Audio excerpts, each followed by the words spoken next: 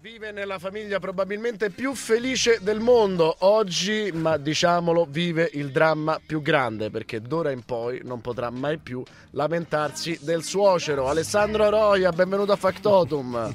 buonasera a tutti, ciao. Buon pomeriggio, ben arrivato a Factotum, ciao Alessandro. Ciao. Alessandro, perdonami, ma non Vai. potevo non fare questa battuta perché io ho pensato esattamente a questo. Cioè, ho pensato al dramma. di- cioè, non, non c'è un'altra cosa che uno fa di più di lamentarsi dei genitori della propria compagna perché è normale, no? Cioè, Sì, io sono un po' fortunato, però. Però tu non lo, vorrà- non lo potrai più fare perché immagino tutti quanti eh, che diranno: Ma no, ma Claudio Ranieri, ma come? No? Che sentono continuamente questo, sentono tutte le, le- le battute, le, le conferenze stampa che ha fatto. Scherzi a parte, come si sta a, a casa vostra oggi? Che cosa è successo ieri al gol di Hazard? Eh, in realtà c'è stato un momento di silenzio. un momento molto particolare. In realtà io l'ho vista con mia moglie. Quindi c'è stato un momento particolare, un momento di incredulità fino alla fine, è stato sospeso. E poi è continuata l'incredulità in realtà. Perché è strano spiegarlo così, però è stata veramente una lunga, lunghissima cavalcata. E quindi alla fine è come se avessimo subito uno svuotamento proprio. Sì, Però fantastico. Oggi forse è il momento già che iniziamo un po' più a goderci la situazione, un po' a capire, un po' proprio a vedere anche le reazioni esterne.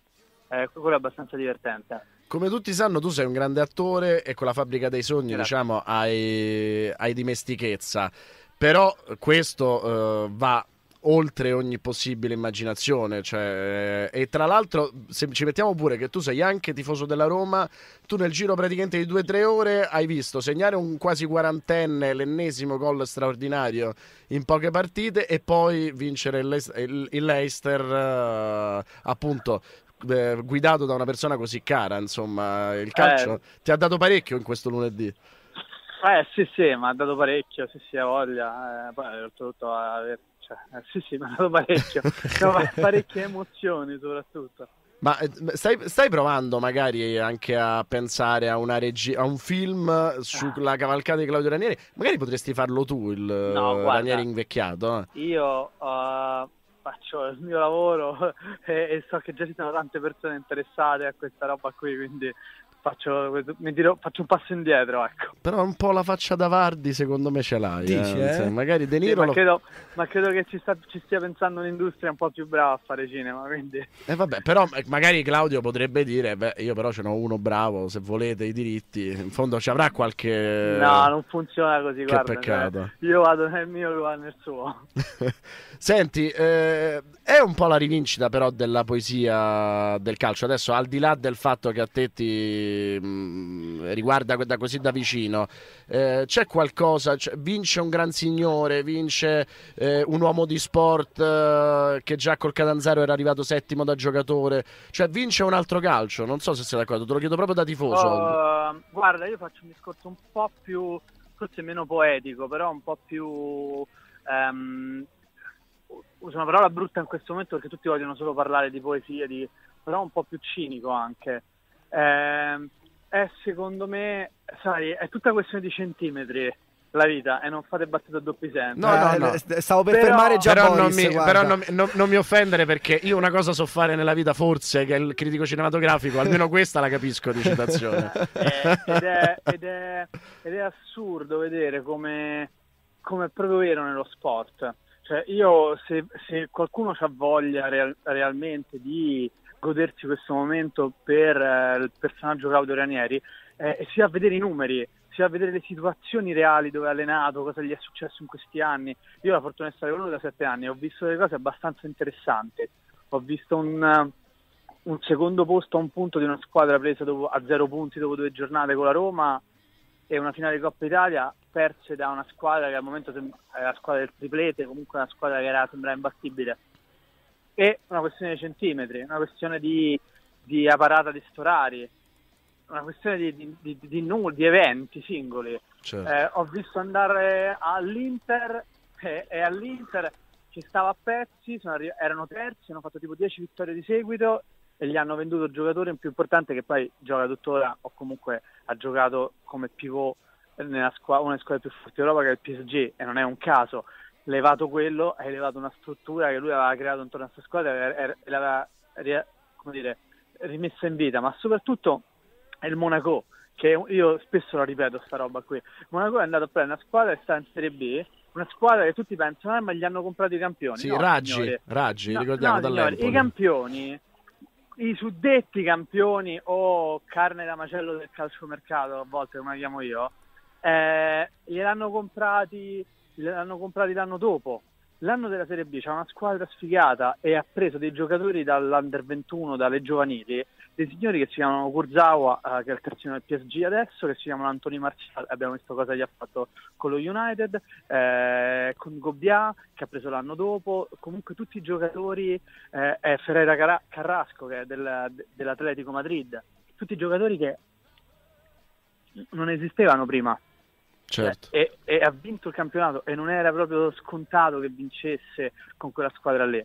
Guarda, e ma poi c'è questo tif- capolavoro qua. Quindi... Da tifoso del Napoli, io ricordo che eh, Claudio arrivò nel dopo Maradona, che è praticamente esatto. arrivare dopo lo tsunami in, in una squadra e fece una, una, stagione straordinaria. E nella seconda stagione lui non potrà mai dirlo, ma evidentemente è successo qualcosa nello spogliatoio che non dipendeva eh, da lui. Eh, col Cagliari ha fatto una straordinaria cavalcata eh, come quella della CLA in due stagioni. È uno che eh, forse veramente il primo, tra virgolette, fallimento l'ha fatto con la Grecia, ma poi quello che ha fatto la Grecia ha dimostrato che era sbagliata la scelta più che il lavoro che aveva eh, fatto. Esatto, poi sai, è fa- cioè, adesso ripeto, non è perché mi voglio togliere i sassoni, ma è facile parlare in teoria. Io la scelta della Grecia è una scelta che secondo me andava proprio contro le sue eh, caratteristiche, cioè il piacere di allenare tutti i giorni, di stare sul campo e trovare una squadra stanca. Lui è uno che gli piace stare sul campo, motivare, è uno appassionato, è uno che ama la tattica, è uno che ama lavorare sul singolo giocatore. Eh, so, sono elementi, come dire, fondamentali. Lì ha, ha, proprio toppato la scelta, ha pagato le conseguenze, ma i, i, famosi detrattori, che adesso sono diventati tutti i migliori amici, o comunque de- desiderosi di esserlo, eh, eh, gliene hanno detto di cotte e di crude ed è abbastanza divertente vedere adesso come si prostrano al cosiddetto re, nuovo re d'Inghilterra. Esatto. Senti, abbiamo tantissimi, come puoi immaginare, tantissimi messaggi perché poi qui a Roma comunque, che, che se ne dica, mo, molti tifosi hanno, hanno tenuto eh, Claudio Ranieri nel, nel, cuore e dice ma ad agosto credevi nelle potenzialità di tuo suocero e se sì hai investito qualche euro sulla vittoria dell'Eis Era quotata 5.001 allora, eh. chiede ripeti, Simone se mi ripeti la prima domanda perché qualcuno simpaticamente ha usato il clacson perché si sono incastrati con le macchine facendo un delirio, dice, un delirio e, e, questo dimostra che non stai a, questo dimostra che non stai all'Eister ma stai no, a Roma no ma cioè, questa cosa qui è tipo Tetris, non ne uscirà mai più. Esatto, dice ad, eh. dice ad, agosto tu hai creduto nelle potenzialità di tuo suocero e se sì hai investito qualche euro sulla vittoria dell'Ester? Chiede no, Simone. perché non si gioca sulle squadre dei propri parenti, amici, eccetera, almeno dal mio punto di vista.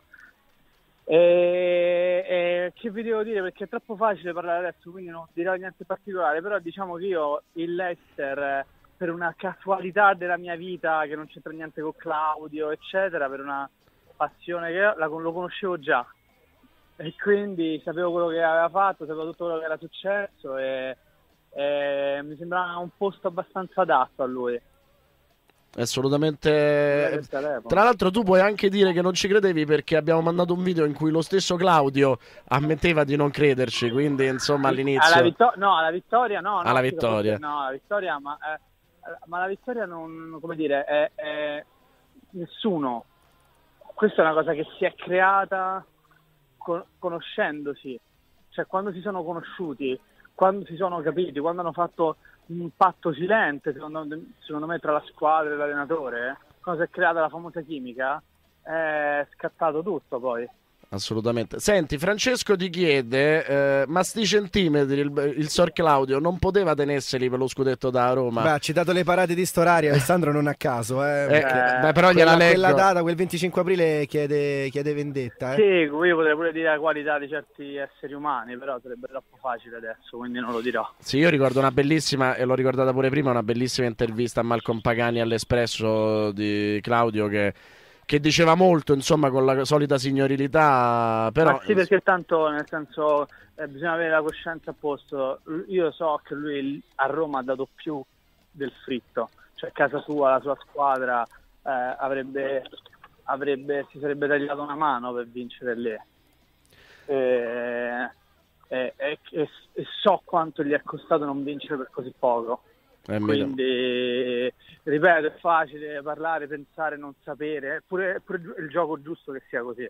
Ah, perché poi- loro sono personaggi che stanno in un altro livello, eccetera, quindi è giusto che ci sia il tifo, però va sicuro che, che a, a parole è facile, ma poi stando lì ci teneva parecchio ed è una cosa che, come dire, che, che si ricorderà, cioè che, che, che desiderava tanto, ecco, era un suo sogno. Ha rinunciato Eh. anche a un milione di euro, ricordiamolo, perché non è proprio da Sì, tutti, no, no, da perché, contratto. eh, guarda, Ma, ragazzi, ma io cose non ce ne dico. Però, insomma, l'ho ricordato io, visto che appunto fu... Sì, eh, si dimise, eh, fu- cosa che non succede spesso nel quasi calcio, mai, nel calcio italiano. eh, Sì, no, ma tutti dicono, eh, quando è stato mandato via. Eh, mandato via vuol dire che prendi tutto. Quando te ne vai te vuol dire che lasci sul tavolo. E, e in, in Italia mh, chi è che lascia sul tavolo? Cioè, capito? Vabbè, Nessuno. cose ormai va bene così, va bene così. Senti, Eh, chiudia- chiudiamo con una battuta. Alfio ci dice: eh, Alessà, io ho un incubo, eh, risolvilo tu.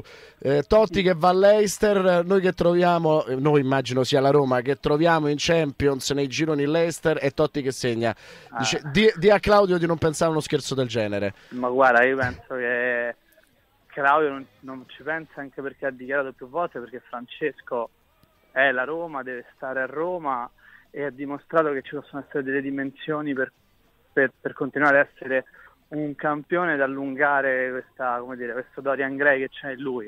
Eh, quello che sta facendo nelle ultime partite secondo me è un po' per noi romani è in- incomprensibile, dove ci dobbiamo andare contro uno, contro l'altro, c'è stato secondo me un, come al solito una esagerazione, ma in realtà a- al netto degli eventi secondo me lo stanno gestendo benissimo perché quello che sta facendo Spalletti ha creato qualsiasi sia il movimento il, il miglior reddito dai piedi di Totti.